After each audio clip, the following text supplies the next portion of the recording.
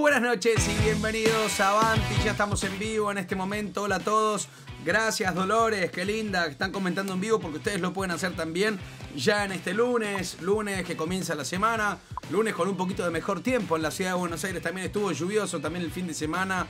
Dios mío, bueno, me encanta que estén acá en este momento, me encanta los que están viendo por primera vez, ya sea en la pantalla de KZO, ya sea en mi Facebook, en Twitter, en YouTube, estamos haciendo un multi-streaming, una multipantalla para que ustedes puedan disfrutar este momento. Hoy vamos a estar con un amigo, un invitado maravilloso, va a estar con nosotros el querido Jorge Locomotora Castro, vamos a estar disfrutando con él un buen momento, vamos a charlar de todo, de todo, de todo, una persona que ha vivido un montón de situaciones, eh, desde su caleta natal hasta llegar a pelear en el exterior, cómo se ha llevado con la plata, con la fama, con sus hijos, tiene 15 hijos, los conoce a todos, tiene relación con todos, cómo es ser papá también a la distancia, sabiendo que tiene hijos distribuidos en el mundo. ¿Tiene alguna materia pendiente todavía? Se van a enterar absolutamente de todo. De hecho, pueden ir mandando preguntas que vamos a estar disfrutando con todos ustedes.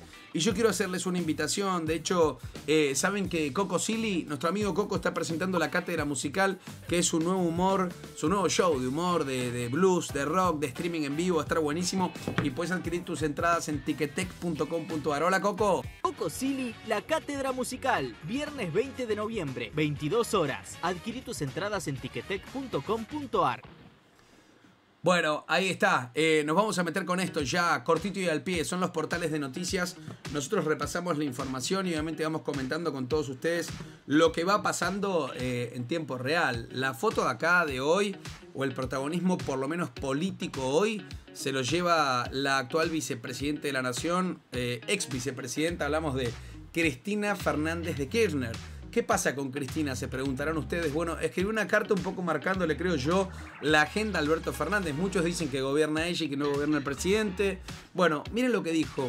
Es tremendo porque marcó la cancha cuando digo que hay eh, dos situaciones que marcan esta carta extensa.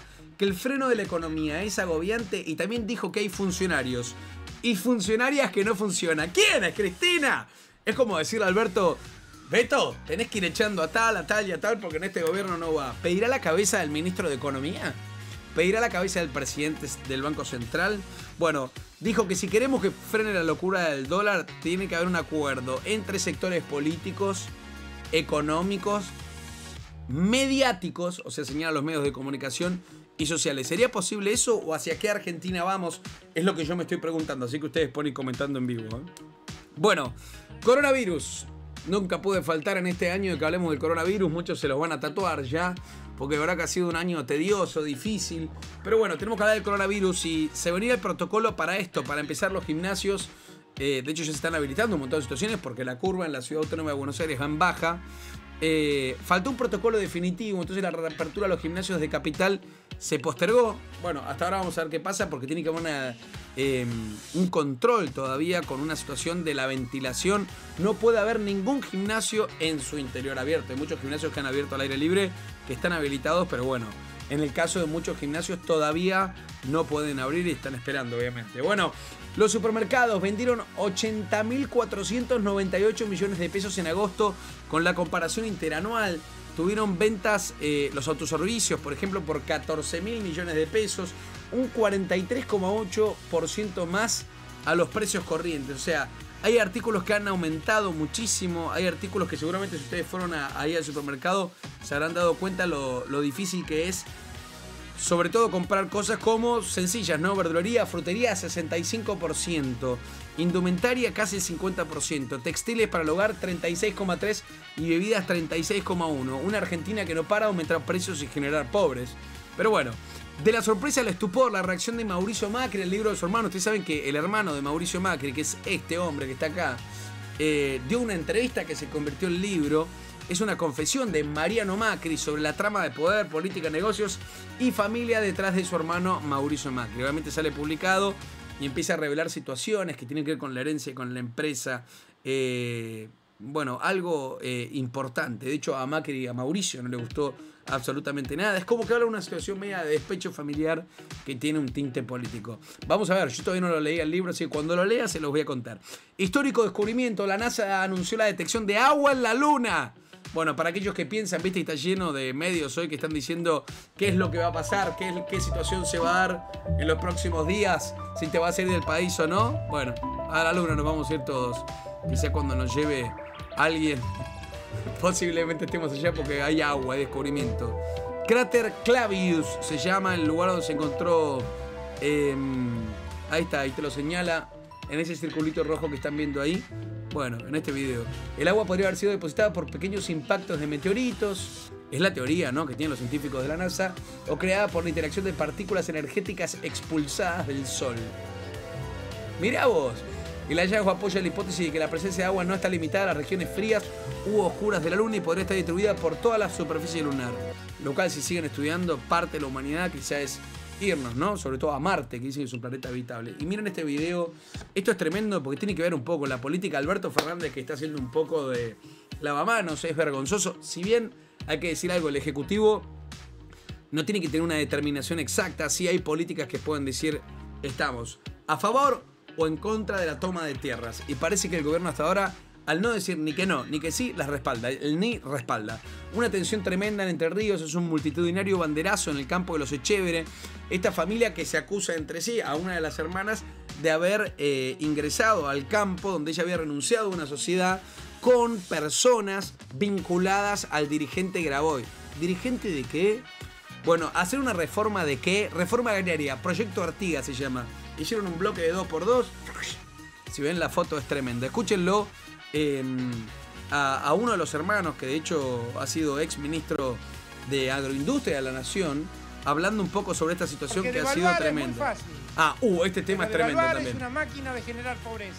Eso lo dijo Alberto. La nosotros- Devaluar es una máquina de generar pobreza. Él no quiere devaluar, pero va a devaluar. Yo le diría que con la charla que tuvimos con los economistas, que se va a repetir dentro de poco, lo va a terminar haciendo. Así que prepárense porque eso va a pasar. Bueno, esto quiero que escuchen, este video quiero que vean. A ver, lo voy a poner acá. Ahí va.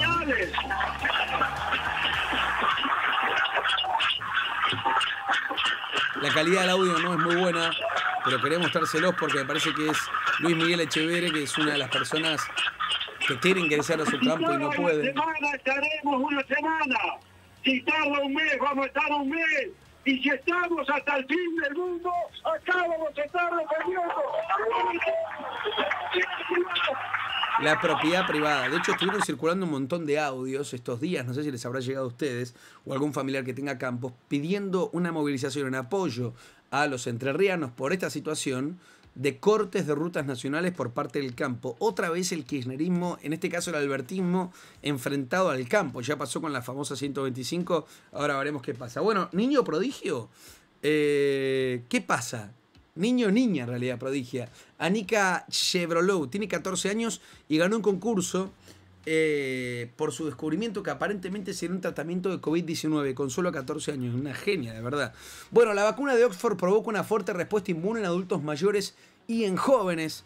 Eh, produce anticuerpos y las llamadas células T, lo cual da una esperanza enorme. Acá dicen que supuestamente la vacuna llegaría en algunas dosis eh, en diciembre, así que veremos qué es lo que sucede y qué es lo que pasa. Ojalá que llegue cuanto antes, porque de verdad que se espera lo que charlamos el otro día con Carlos Rottenberg, que lo pueden ver acá en mi canal de YouTube.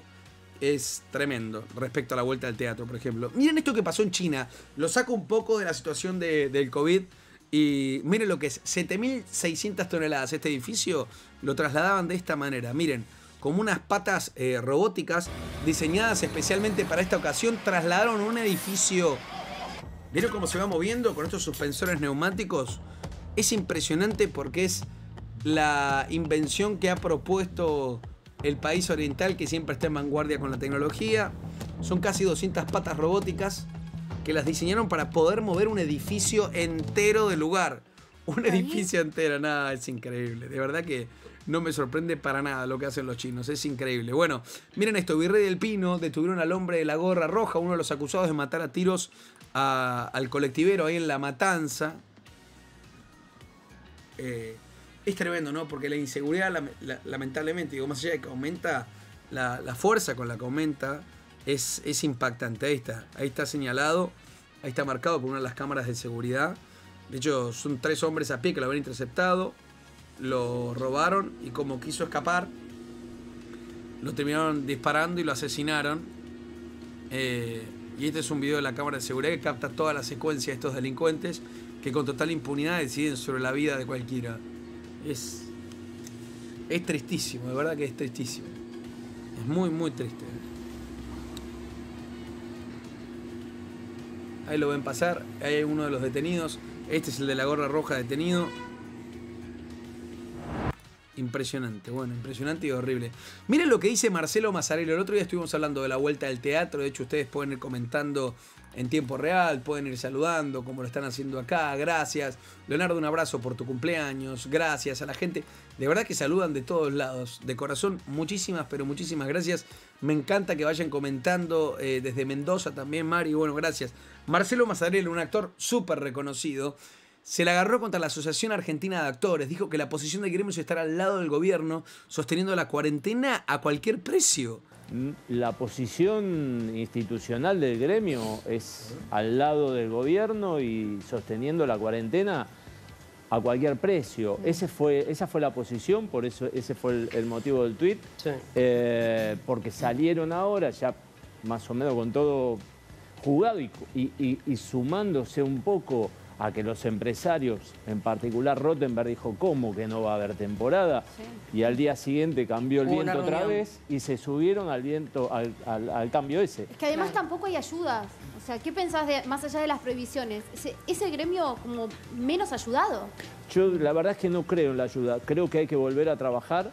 Eh, creo que hay que reactivar la economía. Porque la ayuda es transitoria también. ¿Eh? La ayuda es transitoria. La ayuda no soluciona nada. Acá hay que solucionar el tema del trabajo. Hay que salir a trabajar. Yo digo que es como, como pasa, no, no podés matar a todos los gérmenes. No existe. Porque convivimos con los gérmenes todo el tiempo. Y vos lo que tenés es el sistema inmunitario. Eso desde hace 5.000 años al hombre le funciona. Entonces, mm. esto es, si yo te encierro a vos durante siete meses, lo único que hago es que tus defensas bajen. los anticuerpos se ponen vagos. Se ponen vagos, no quieren trabajar. los sindicatos están muy parecidos a los anticuerpos. Oh, tremenda la comparación. esperemos un poco más. Y sabes qué, sin, trabajo, sin trabajo no hay sindicato, muchachos. Claro, ¿Entendés? La razón del sindicato es que haya trabajo. Lo digo a mi sindicato y a todos los sindicatos. Para eso son los sindicatos. ¿Verdad? Evidentemente. Ahora, eh, yo no entiendo por qué el prejuicio puntualmente con el teatro, lo tendrían que explicar obviamente las autoridades, porque vos vas a una plaza y hay gente más junta que lo que puede estar adentro de un teatro. Todo el tiempo, sin barbijo, a cualquier hora. Todo el tiempo. Bueno, la verdad que son declaraciones bastante racionales las que da y tiene que ver también con este parate de que el teatro todavía no vuelve y si vuelve va a ser... Les recomiendo que vean la nota que tuvimos el viernes, fue con Carlos Rottenberg hablando de esta situación. Impresionante. Bueno, y les quiero mostrar otra cosa, esta es linda para aquellos que les gusta el fulbito, vuelve el fútbol de primera, 123 refuerzos, hay una nota interesante acá en Clarín que habla club por club los refuerzos que se vienen. 30 eh, de octubre. El tema es que eh, hay una situación que va a ser difícil, porque también va a ser más allá de la prueba piloto. Acá hacen club por club eh, las incorporaciones que se han dado. Por ejemplo, acá hay uno de los más importantes de Boca, que es la Vuelta de Cardona, que tiene una, un plantel eh, de verdad de élite, por lo menos para el continente americano, que es maravilloso. Estudiantes con Godoy, que también es un buen refuerzo. Bueno, acá te van marcando todos, los que, los que van volviendo, los que van reincorporándose. El tema es que el fútbol no volvió todavía y hay mucha gente que está esperando que el 30 de octubre esté regresando para empezar a ver fulbito de vuelta. Un fútbol raro, si ya vieron algún partido, bueno, se dieron cuenta que seguramente eh, los partidos son como silenciosos, sin público. Eh, el domingo estuve viendo la Fórmula 1 y había público en Portugal, había algunas tribunas con público, lo cual me imagino que ya hay países que van adoptando, bueno, el regreso a una cierta normalidad y que todo vaya volviendo de alguna u otra manera. Bueno, estamos en vivo, un ratito va a estar Locomotora Castro, vamos a hablar de todo con él, puedes mandar tus preguntas, vamos a hacer una pequeña pausa muy cortita y cuando volvamos vamos a estar conectando con Locomotora para pasar un buen rato, así que no se lo pierdan, hacemos una pausa chiquita y ya venimos, dale.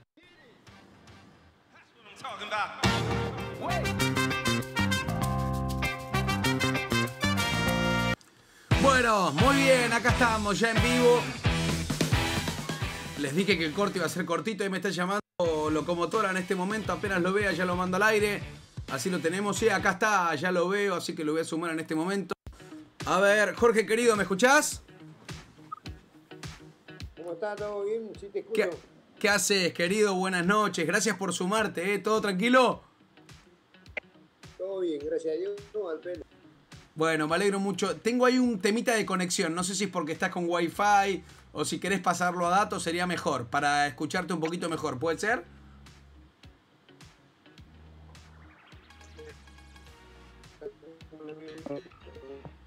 Es como cuando te dejan de una ñapi medio turuleco, viste, que queda medio recalculando, reconectando. Así que cuando te vea mejor ahí.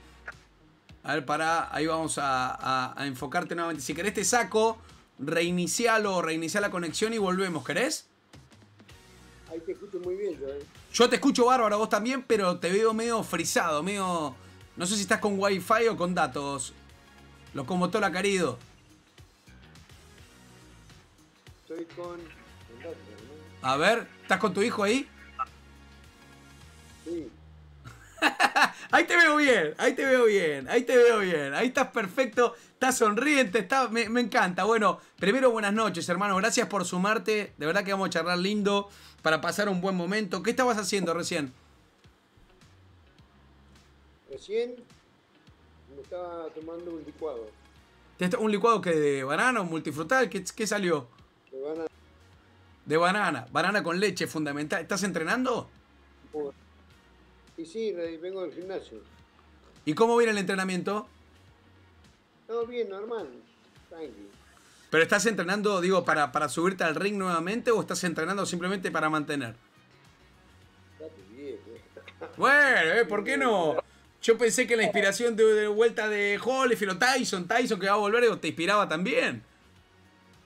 No, no, me, me, preparo cuando voy al gimnasio por ahí le pego a la bolsa, ¿viste? Pero bueno, porque ya inauguramos el 2 de diciembre el gimnasio y bueno, por eso mismo estoy, me estoy preparando, ¿no?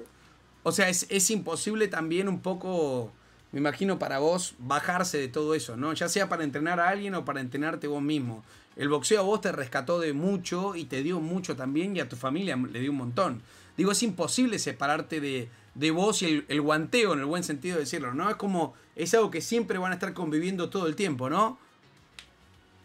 Siempre lo vas a, siempre vas a llevar adentro, ¿entendés? Porque bueno, eh, fui boxeador, fui boxeador toda la vida y bueno, hice 28 años de boxeo y bueno, eso no se puede olvidar de un día para otro. Claro. Ya lo tengo incorporado eso. Sí, sí, obvio. Sabés que yo quería empezar a recordar un, a recorrer un poquito tu vida y, y tenía una sorpresa para vos, Jorgito, a ver si me, me acompañás, si ves bien el monitor ahí, concéntrate, porque te voy a mostrar una imagen que seguramente Vamos a ver si la reconoces, obviamente, pero puedo hacer lo que yo quiera, me podéis ir guiando. Vamos a viajar un poco con la tecnología. Para que ya te voy a ubicar acá en un segundo nada más para que puedas verlo también. Te voy a ubicar acá en este momento. Acá un segundito que tengo que hacer unas reubicaciones de, de espacio también, ¿no? Pero ahí te voy a ver acá. ¿Reconoces ese lugar? ¿Reconoces dónde estamos? A ver, tranquilo, tranquilo. Quiero ver si lo reconoces. Que ya está pintado de otra forma, es bastante actualizado. Mira lo que dice acá, a ver si llegas a leer.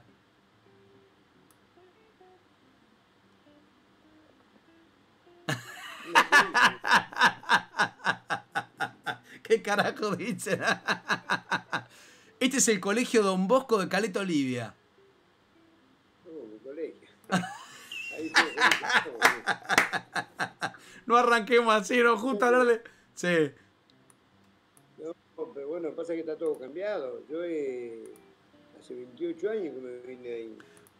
Bueno, por eso, por eso yo quería mostrarte un poquito tu, tu caleta Olivia, porque acá fuiste al colegio y quiero saber un poco cómo eras vos en el colegio, recorriéndolo, y cómo era el colegio, si era un colegio donde tengo entendido te, te defendías permanentemente o atacabas permanentemente. Contame cómo eras vos en el cole. ¿Eras, ¿Era vago? ¿Eras estudioso? ¿O te gustaba más ser el pibe de los recreos?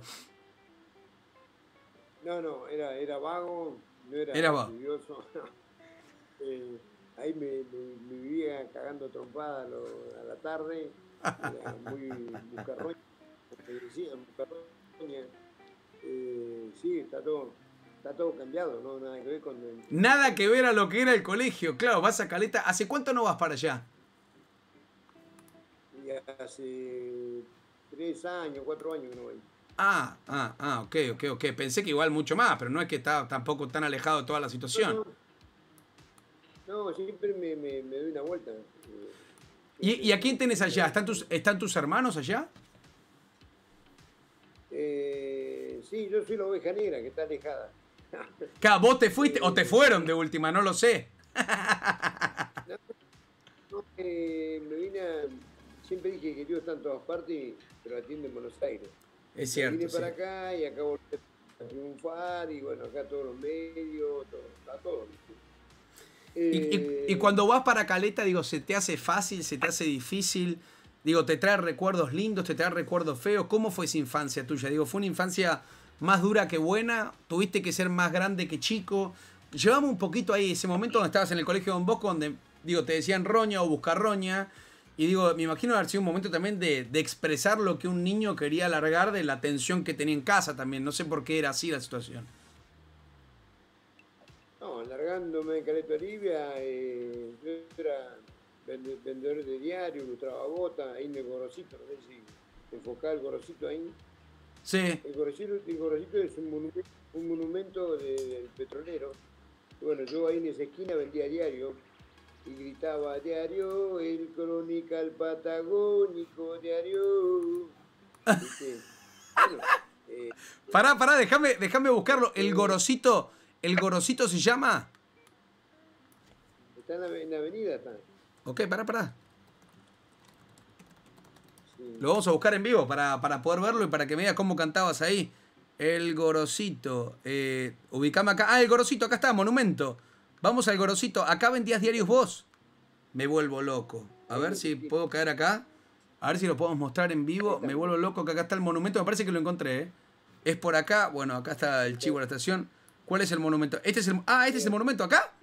¿Acá? Acá, acá vendías diarios vos en el monumento al petrolero. El monumento al petrolero, sí. Cantame de vuelta, por favor. ¿Y qué edad tenías ahí? Y ahí tenía 13 años, 13 años y 14. 13 años, 14 años. El crónica patagónico diario. Qué grande. Ahora 13, 14 años. ¿Y la gente te compraba? Sí. Después me iba a, me iba a Cañón Seco porque estaban todos los, los galpones de IPF me iba a vender a todos los galpones y pepe, vendía el diario. Ahora, pero por eso, eh, por eso te lo pregunto, eh, Jorge, por eso te lo pregunto de verdad. Digo, fue una infancia donde uno puede pensar 14 años, estar repartiendo diarios, que era para ganarte el mango o para llevarlo a casa un poco, digo, esa plata donde tu vieja con seis hermanos, ¿no? Son seis ustedes. Seis, sí. Son seis. Era plata para llevar a, era plata para llevar a casa. Eh, y pero, pero eso contame, ¿cómo era, ¿Cómo era la presión de tener 14 años y tener que llevar la plata a tu casa? Digo, ¿qué, qué pasaba ahí?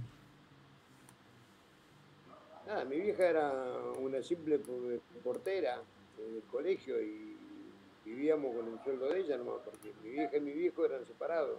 Mm. Y bueno, hubo unos años me fui a vivir a Catamarca con mi viejo, pero mi vieja después me fue a ver eh, a los 12 años, nos fue a ver a, a Catamarca nos vio que estábamos mal, no estábamos bien, mal alimentados, éramos dos africanitos, yo y mi hermano, y nos cargó en el colectivo y me llevó a Caleta Olivia de nuevo.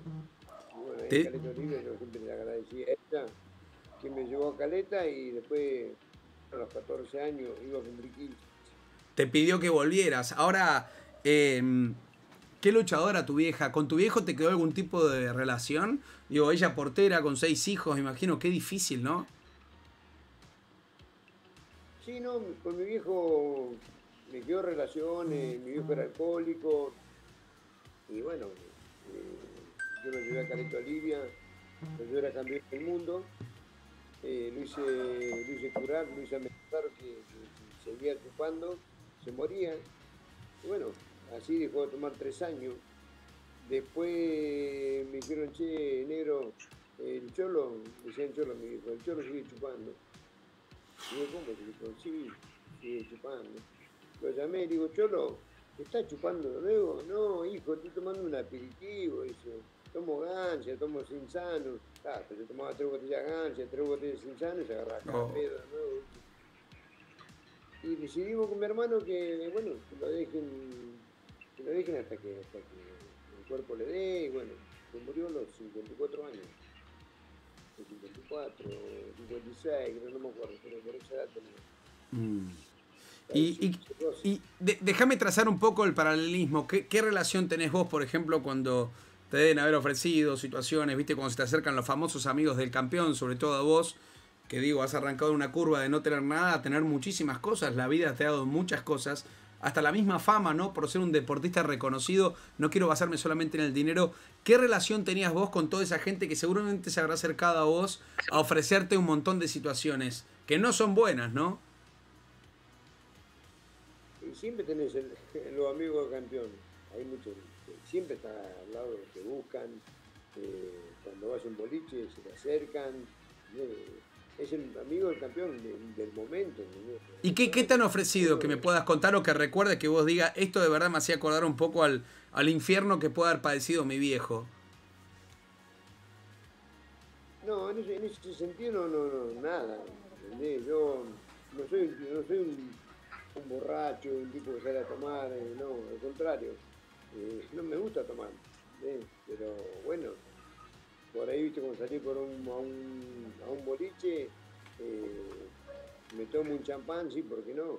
Pero no soy eso que andar arrastrado de un lado para otro eh, con un borrachito, como, hay mucho. ¿no? por eso te ha tocado, porque sé que en el ambiente, de hecho, no sé, hasta pienso, y sin, sin comparar ni nada, pero la propia Llena Barrios, que le pasó que, que, que, tuvo una impericia al volante gigante, atropellando y matando a una mujer embarazada recuerdo, eh, no, lo quiero decir accidente, fue una impericia tremenda al volante. Eh, ¿te, ha tocado ver mucho, digo, gente que de alguna u otra manera termine por ese pico de fama, por esos eh, amigos del campeón totalmente deteriorado?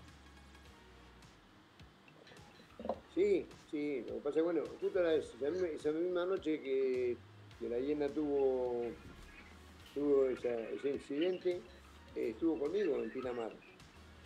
¿Estuvo con vos? Corre Rodrigo, ¿qué joder acá en, Pinamar? No, no, me voy porque está, tengo que estar con la torta Santillán, ir al el cumpleaños de, de Alejo. No, me voy un cumpleaños de Alejo, una, una cita privada. ¿Qué Alejo? ¿Clerici? El otro día me levanté. Sí. Ah. El otro día me, me levanté y vi por la televisión todo ese quilombo que había hecho. Y él, y él, y vos lo habías visto, digo, consumir en exceso de alcohol en ese momento, digo, sos de decirle también a los que están en lo tuyo, che, pará. No, no, al contrario, él no, no, no había tomado nada en ese día que estuvo en la, exhibición, no tomó nada. Yo estaba tomando un aperitivo yo, pero después justo nos habían regalado una botella, no me acuerdo qué, lo que era, eh, qué bebida era. Y bueno, eh, yo me quedé ahí en, en y él se fue para Mar de Plata y después el otro día cuando me desperté estaba, estaba el quilombo que había hecho. Y justo hace poquito, hace cuatro días atrás, una señora, una señora periodista de Canal, Canal TN, del Roña Castro, de locomotora, y dije, bueno, yo viste, inicié cosas legales eh, para que se rectifique. ¿Pero qué fue lo que dijo? ¿Qué, qué pasó? ¿Qué fue lo que dijo? No, dijo el asesino del Roña Castro que mató a la chica al Mar de Plata y después se fue y seguía repitiendo el asesino del locomotora Castro, el Roña, y yo no era. Ah, ah, se confundió, en vez de ser la llena barrio, te, te nombraba vos como el presunto asesino, como asesino, claro, te confundió. Sí, confundió eh, de nombre eh, estaba bien en el deporte, que era un boxeador, pero se confundió de nombre que, era, en vez de decir ahí en Navarro, decía el Roña Castro. Y bueno, pero yo todos me decían, mira el asesino del Roña, mira, no nada que ver. Ahora, eh, yo te pregunto, porque también, digo, repasando un poco tu vida, eh, ¿vos crees que luchaste o, o, te hiciste boxeador porque por talento, por necesidad, por, porque era lo que más, eh, lo, que más fácil podías acceder también por tu manera de, de moverte o tu talento a la hora de pegar. Digo, ¿o era por el hambre que también te tocó vivir eso que te arrastró a llegar a cualquier lugar?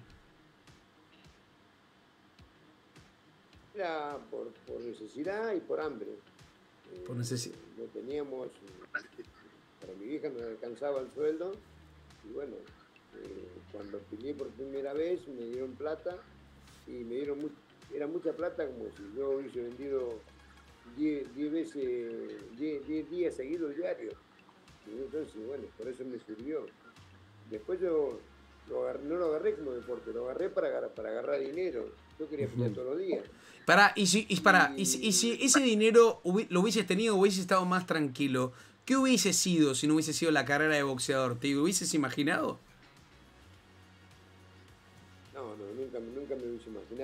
No. Fui un pibe de la calle, un pibe de la calle, era peleador, me gustaba agarrar la piña. Siempre mi vieja los fines de semana me iba a buscar, me tenía que ir a sacar de la comisaría porque siempre me peleaba en la calle, a la noche, al día del boliche me cagaba piña. Y bueno, después así me la policía me llevaba en cana y mi vieja me tenía que ir retirando. Digo, qué, qué, qué tensión también para tu mamá, ¿no? Porque la que haber bancado tu mamá Mirta. Qué paciencia. y de, y de los, pero de los hermanos eras el único que siempre caía así en esas situaciones.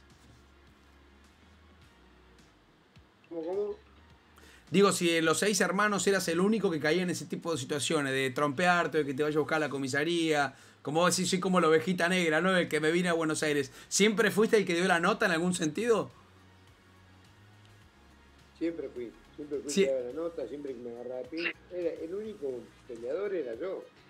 Claro. Mis hermanos, viste, mis hermanos no, no, no, no eran de pelear. Yo era de, yo era, fin de semana, me iba a cagarme a piña en el boliche. No, sé, pero ya era el, instinto mío de irme, a pelear. Para, está bueno que lo digas como mensaje positivo porque el boxeo también te ha dado disciplina. De hecho, tenés la mano prohibida, como se dice, ¿no? Formalmente no podés pelearte con nadie por tus aptitudes a la hora de luchar. Sos un, peleador profesional, un deportista. ¿Qué opinás de, estos pibes o cuando lo ves a tu hijo ahí al lado que te está ayudando? Eh, como pasó, qué sé yo, este año, que parece una eternidad, ¿no? Con el caso de los rugby que terminaron matando a alguien eh, eh, a, las trompadas de una manera totalmente violenta y, que ha pasado un montón de veces, lamentablemente, un montón de muertes por esas peleas que imagino tu mamá debe haber sufrido bastante de verte así, ¿no? No, sí, sí, pero lo que pasa es que allá en el pueblo, en Caleta Olivia, era una pelea de mano a mano, no era que me pegaba, uno le pegaba me venían 20 a patotear. No, no, no. Yo peleaba yo con el otro y listo, era así. No era que, a mí me defendían. ¿Y tu vieja qué decía ahí? ¿Qué decía ahí, locomotora? ¿Qué, qué decía tu vieja? ¿Qué, qué, ¿Cómo se ponía con tu mamá? ¿Se ponía triste, se ponía mal, se enojaba, ya no sabía qué hacer? No, al último ya no me retiraba más de, la comisaría. ¿Te dejaba ahí? sí, me dejaba ahí. Entonces el lunes me, me, me largaban ya te, ya te conocían ahí. Sí, me, después, bueno, me, conoció, me conocían ya el, pueblo, el pueblo me conocían. Después ya a los 15 años, 16, ya empecé a andar muy bien en el boxeo. A los 17 caí acá en Buenos Aires. Y bueno, de acá fui a un, fui a un boliche ahí a Constitución, al Tropi. Y yo veía que 20 le pegaban a uno. Y yo, ¿qué me voy a hacer malo acá? Me van a matar ahí, bueno, me di cuenta que, la vida cambiaba, ¿entendés? Mm. Después ya eh, cambió mi personalidad, ya era eh, el Roña Castro, el señor Castro, y cuando fui a Caleta Olivia. Bueno, de ahí me empecé a quedar más en Buenos Aires, en Buenos Aires, y bueno, y así me fui plantando acá hasta que me quedé a vivir en Buenos Aires. E, es increíble porque el título de tu vida sería como pelear para sobrevivir, ¿no? Es, es una onda por ahí, digo, Vos no tenías un plato de comida, has contado muchas veces que tu vieja le servía polenta, polenta, polenta, polenta, y quizás fue la misma polenta la que te dio la fuerza para ser un luchador tan duro y tan bueno también, ¿no? Sí, estaba como, como Popeye, la ah. Qué raro que nunca fuiste la cara de un paquete de polenta también, ¿no? Tanta polenta que no te llevó. Impresionante. Ah, bueno, viste, eh, ahí en ese momento comíamos, comíamos lo que había. No, no, es que andamos. Yo no era pretencioso, ¿entendés? El pan duro lo mojamos con, la leche o con el té, ¿entendés? Y, lo, lo, ablandamos. Entonces no era un pibe delicado. ¿Y cómo, cómo, te llevas, viste? Porque vos me decís que a los 15 años empezaste a convivir con esto de que empezabas a ganar alguna pelea, empezabas a triunfar. ¿Cómo te llevaste con, con esa primera pelea que a vos te marcó un antes y un después, hasta pelear en el exterior? De, de, empezar a recibir una plata que vos ya decías no solamente me permite vivir, sino también darme quizá algún gusto o ahorrar. ¿Cómo te llevaste con la plata, con el primer ingreso económico que llegó a vos? Y primer, eh, la primera plata grande que agarré, me compré una casa. Eh, para, tengo allá en Caleta Olivia está la costanera, me compré una casa en la costanera. Eh, bueno, empecé a vivir de otra forma. yo alquilaba.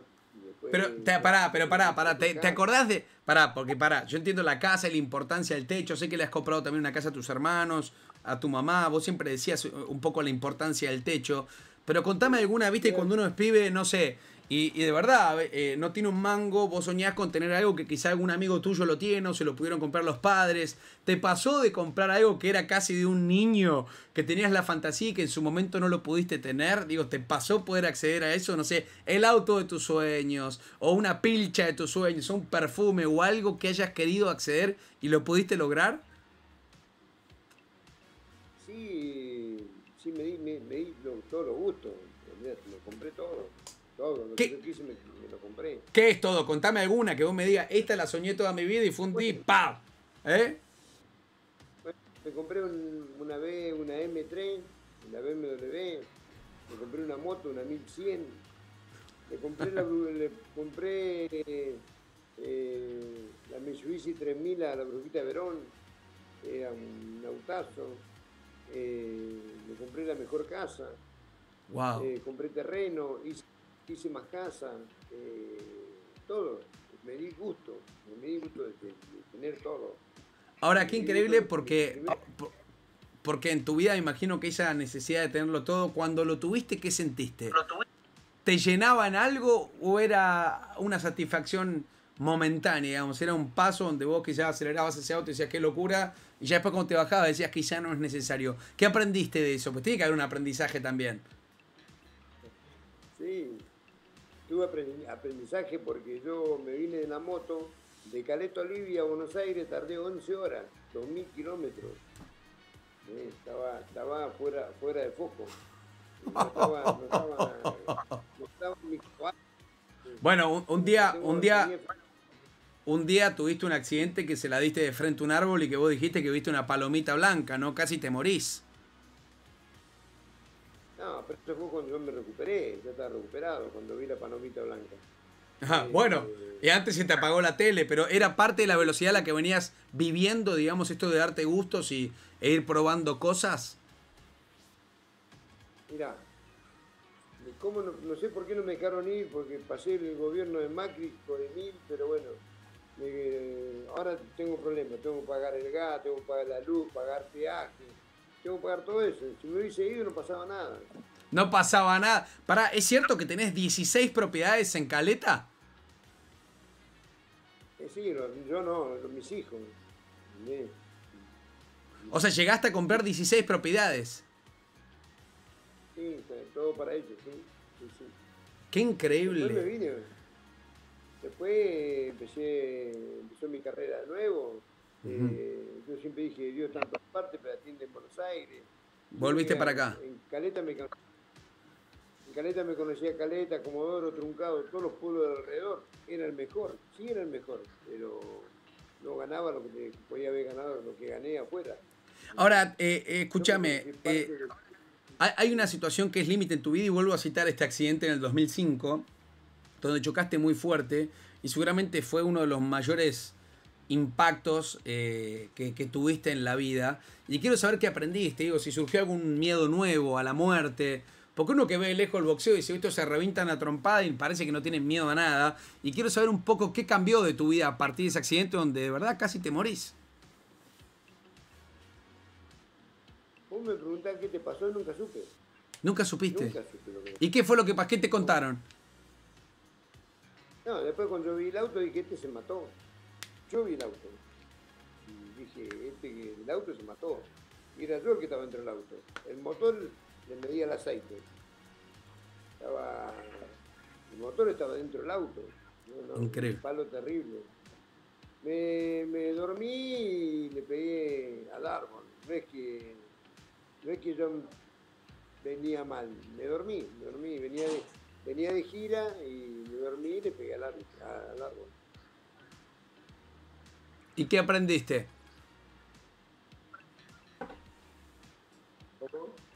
¿Qué aprendiste, digo? Porque estuviste muy cerca de la muerte. Vos dijiste, yo vivía fuera del auto y dijiste, se mató. No te mataste de pedo, digamos. No, aprendí que, hay que cambiar en la vida, que hay que ser otra persona.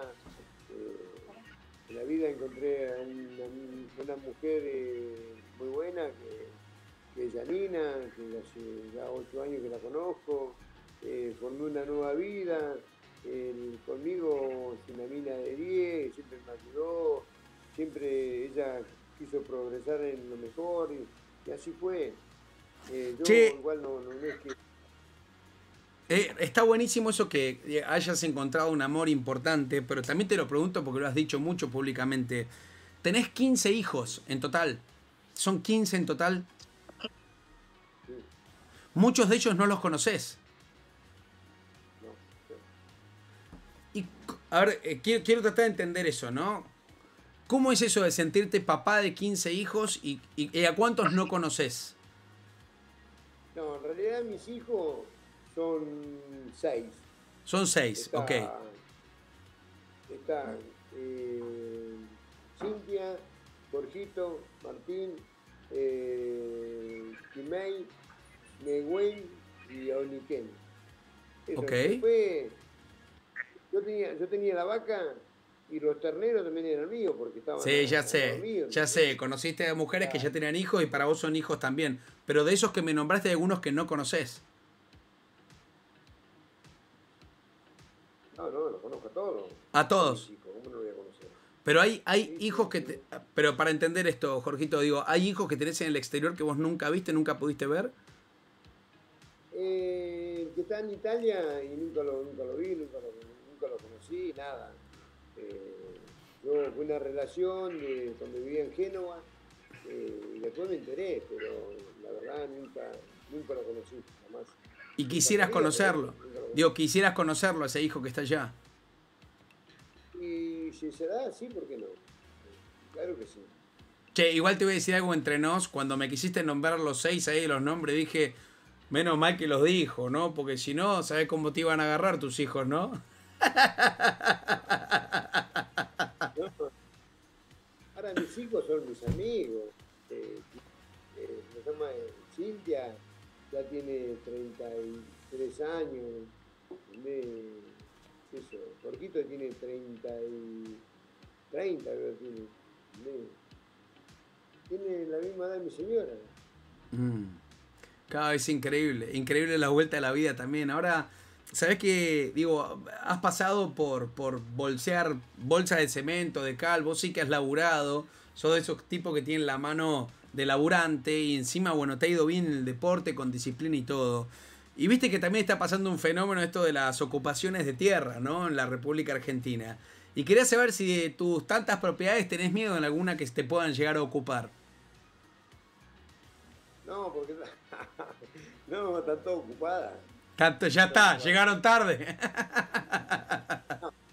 Mira, yo me, separé eh, acá en Buenos Aires y tenía una propiedad y me la vendieron. Pero bueno, ya está, yo estoy separado. Mm, ok. Ahora sos también de, de, tener como también de desprenderte de cualquier tipo de cosa material. Uno de tus hijos es boxeador y quiero saber un poco si, si ves parte de vos en él o si le exigís como padre. Viste que también pasa mucho en el fenómeno del famoso papi fútbol, viste que los padres trasladan también sus fracasos a los hijos y se pelean con los árbitros. Bueno, también en los gimnasios pasa, como dale, pelea, reventale. Digo, ¿te pasa eso con tu hijo o sos un tipo medido y cauto de darle consejos a distancia? No, no, no. La verdad que no tengo la menor idea. Eh, no tengo la menor idea cómo es, cómo es, cómo es boceando, como nada. nada. No me llevo con él. No, no, no me llevo, no es un maleducado que nunca, viste, eh, cuando cumplió 18 años, yo fui a Caleta Olivia y un día estábamos de joda con mis, con mis hijos, con Cintia y con Jorquito, estaba Lorena, Marcela, y él era menor y no podía entrar a los boliches. Entonces viene un día y me dice, una noche agarra y me dice, eh, llegamos del boliche todo a mi casa, viene y me dice, che, roñoso, sacate una foto con mis amigos, con mi amigo. Bueno, le dije, está bien. Le saqué una foto. Roñoso.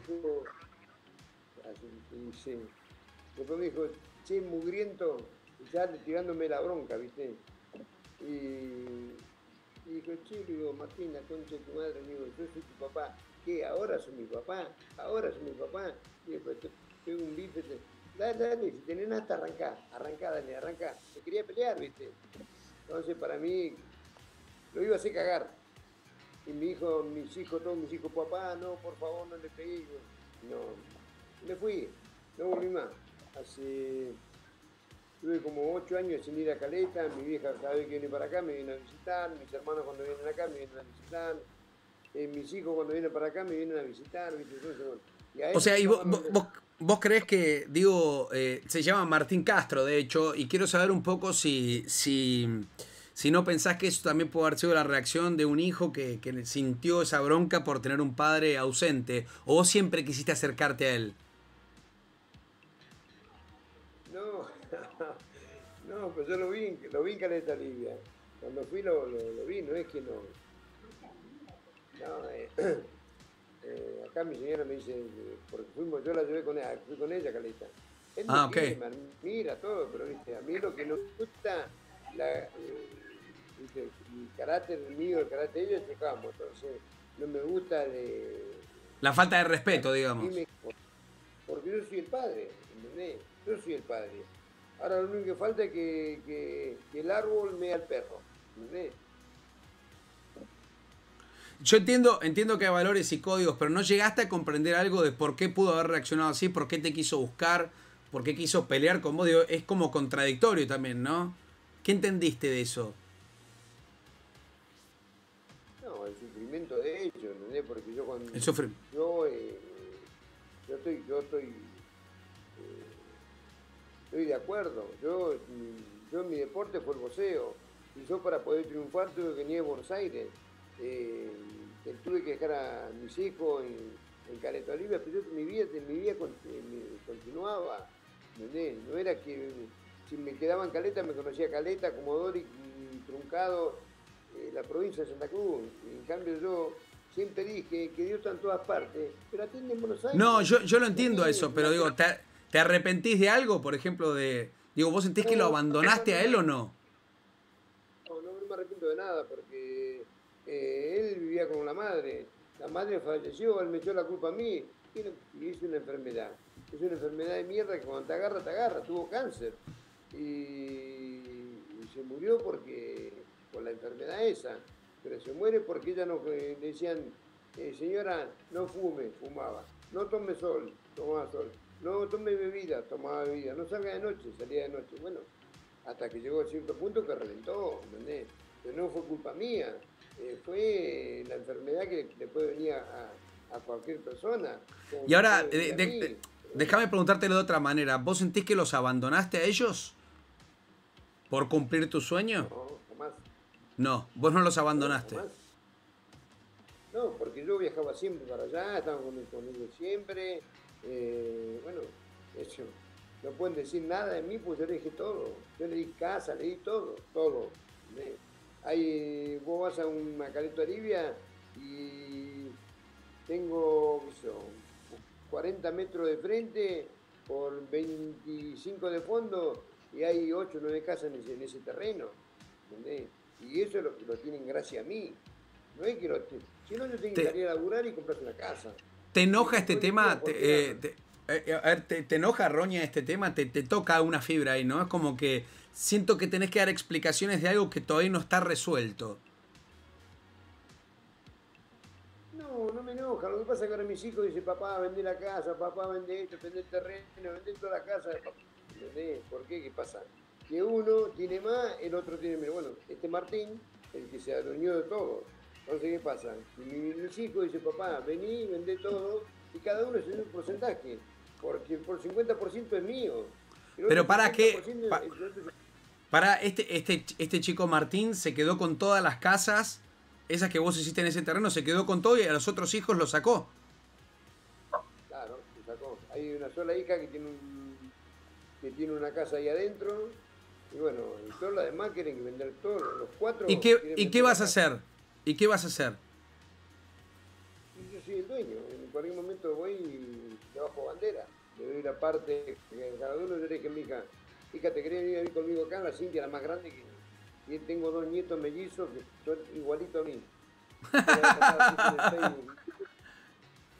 Puse en el Facebook mis dos hijos y mi, mi hija me dice, vete, tus dos hijos son tu, tu nieto, viejo de mierda. Bueno, sí. Che, escúchame, eh, debe ser duro también que un hijo eh, responda de esa forma. Ahora te lo vuelvo a preguntar de otra manera. ¿Sentís algo de responsabilidad por, por esa situación que se da? Digo, ¿sentís que es un poco la forma que él tiene de mostrarte que vos no estuviste en el momento donde te pudo haber necesitado? No. No. O sea, no hay un mea, no, no hay un mea culpa de tu parte de decir, che, bueno, ya, ya, ya, estaban crecidos cuando la madre murió, ¿entendés? Ya eran, ya eran mayorcitos, ¿entendés? Eh, no, no, yo no, no tengo ningún, ninguna culpa. ¿Vos sentís que sos un buen vos sentís que sos un buen papá? Sí, si no soy papá no le hubiese dejado nada. Soy un buen papá porque dejé todo. ¿eh? Tuve que venirme de nuevo a, a, seguir triunfando para poder seguir comiendo, sobrevivir. Ok. Ok, se está entrecortando hoy un poquito, qué lástima, justo sobre el final. Ahí está, ahí te tengo de vuelta. Ha sido una nota, digo, una charla hermosa también donde, digo, de alguna u otra manera vemos que pese a la conexión que estamos teniendo, se ve, se, se, te ve un tipo desde otro costado. Me parece que está bueno también verte así. Sé que estás con una movida solidaria ahora también, ¿no? Entregando comida a muchísima gente que lo necesita. Con tu mujer están trabajando juntos, ¿no? Sí, trabajamos con Janina en el gimnasio, con la gente, mucha gente me ayuda, Luisito, Johnny, eh, está Marco, Luis, todo, lo que está en el gimnasio, Cubilla, la mujer de Cubilla. Eh, Te quisieron afanar ahí, ¿no? ¿Te quisieron robar ahí? No me robaron. no robaron que me quisieron. Ah, pero, pero eh, ¿te trompeaste con el delincuente ahí? ¿Qué pasó? No, no, después yo a los dos días lo veo pasando por frente del negocio y digo, este hijo de puta me robó. Y yo me decía, yo estaba colgado así, digo, este me robó. Yo lo miraba y pasé. Y que agarré el auto, fui, di la vuelta a la manzana y lo agarré así de frente. Me bajé del auto, cuando él me mira, cuando me mira dice, Roña. Dice, me conoce, ah, bueno, me conoció, viste, bueno.